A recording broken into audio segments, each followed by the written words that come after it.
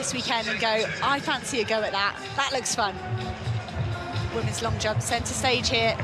Lorraine Ugen for Great Britain in bronze medal position at the moment. Oh, the graphic's correct. She's slightly, she might match her bronze medal from 2016. What a treat for these women